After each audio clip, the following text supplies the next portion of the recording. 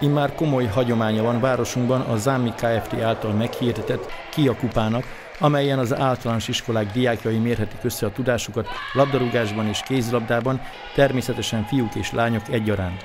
A jelszó változatlan, ki a jobb a csapatsportok területén. Nos, az őszi szezont a Petőfi iskola zárta a legjobban, a négy játéknapon megszerzett 10 pontjával, második a 8 pontos Peti telep, míg a harmadik a 6 pontos Kálvin tér volt. A bajnokság második felvonása, amint látható, a lányok kézilabda bajnokságával kezdődött. Az ősszel a kávintériek mind a két ellenfelüket legyőzték, így a lőkösnél török Katalin által irányított társaság számított favoritnak. A Petőfisek egy-egy győzelemmel és vereséggel várták a mostani fordulót, míg a Petri telepiek az első pontszerzésükben reménykedhettek. Az első meccs elején a pirosmezes Petőfisek előbb meglették a kékben játszó kálvinos csajokat, ám ahogy telt az idő, úgy érvényesült a papírforma, s végül 10-5 arányban az esélyeknek megfelelően a Calvin tér csapata nyert. Ám amíg az ősszel 9, most csak 5 gól volt a két csapat között a különbség. A második mérkőzésen a Petőfisek a sötétkék mezes Peti teleppel meccseltek. Az ősszel 13-6-os Petőfis diadal született, így most is a Kovács Krisztina által dirigált együttes volt az esélyes.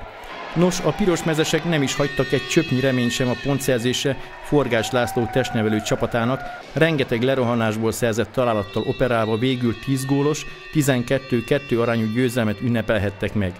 Ezzel a számukra véget is ért a Kia Kupa kézlabda bajnoksága, amelyet 50%-os produkcióval zártak, a négy meccsükön négy pontot szerezve.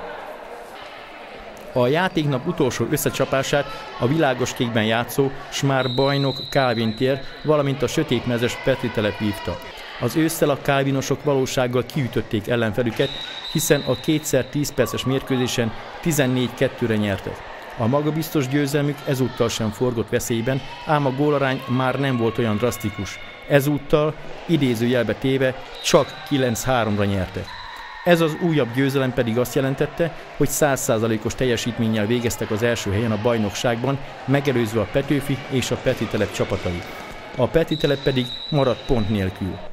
Következik ezen a héten a fiúk kézilabda és foci bajnoksága, míg a lányok futball csatáit május másodikán rendezik meg a Gellér Sándor sportcsarnokban, és az eredmény hirdetése is ekkor kerül sor.